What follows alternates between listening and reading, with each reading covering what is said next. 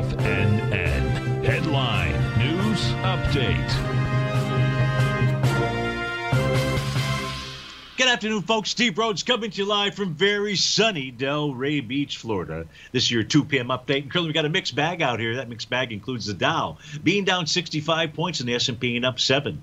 It includes the NDX being up 163 with the Russell being down 23. The semis are up three. The trannies are down 123. Yeah, we got a mixed bag out here. Gold's up about six bucks, trading at uh, almost $1,800. Silver's up 11 cents. She's trading at 24.20. Light sweet crude off a buck 75. The print there 82.88. Natural gas up 27 cents. That's about a five percent move. That is a big move out there. And the 30-year Treasury up almost two full points, trading out at 160 and 30 30 seconds. Uh, let's go take a look at our indice charts out here as we uh, typically do during this hour. Give me a moment to change over to those. And as we do, you're going to have the Dow in the upper left hand corner.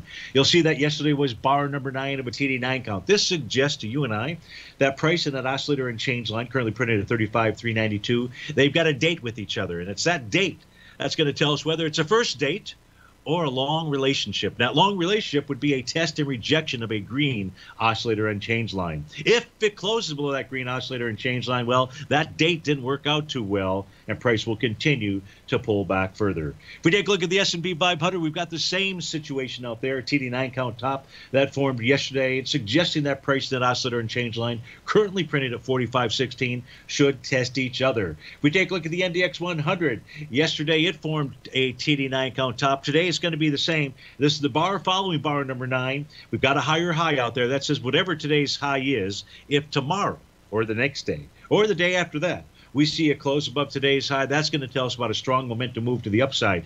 During the Trader's Edge show, we looked at the volume inside the QQQs on a daily and weekly basis, and they've got the volume to push higher. So we'll see if this TD9 count pattern holds.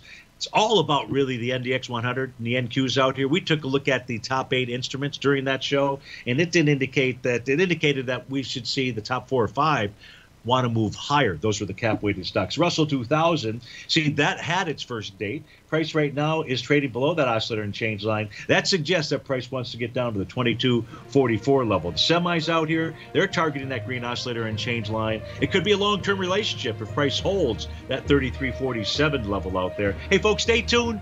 David White with the Power Trading Hour. He's up next after that. Tom O'Brien will take us on home. I'll be back with you tomorrow during the Trader's Edge show, live at 1 o'clock and we'll look forward to seeing you. Have a terrific or wonderful Wednesday, and we'll see you tomorrow.